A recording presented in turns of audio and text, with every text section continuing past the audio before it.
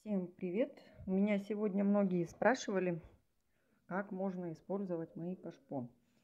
Ну, помимо прямого назначения под цветы, под суккуленты, можно приспособить под визитницу, под нитки. Вот это вот я использую под свой инструмент. У меня тут всякие мои штучки для барельефов. Эти маленькие для укоренения маленьких под карандаши, канцелярию. Они, между прочим, тяжеловатые, устойчивые, как пластмассовые, падать не будут. Даже вот ножницы большие стоят, большой объем тяжелый инструмента не падает. Под салфетницы. Маленький вариант, большой вариант.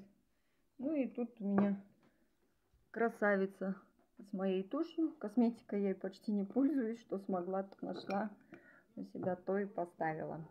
Такая вот мадам.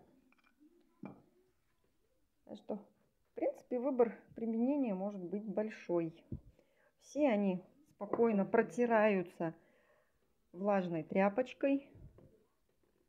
Мочить, конечно, в горячей воде и тереть щеткой не стоит. А так спокойно протираются. Эти вот уже проверены временем. Больше двух месяцев. Поливаются ничто не трескается, все служит как положено.